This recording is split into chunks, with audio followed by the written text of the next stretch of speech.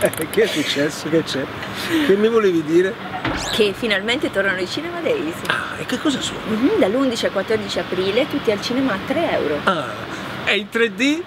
5 euro. Quindi c'è questa comodità, approfittano, no? Ah, noi andiamo al cinema. Soprattutto quelli italiani, vogliamo vedere noi, sì. Magari i nostri. Non dovevamo dirlo. No!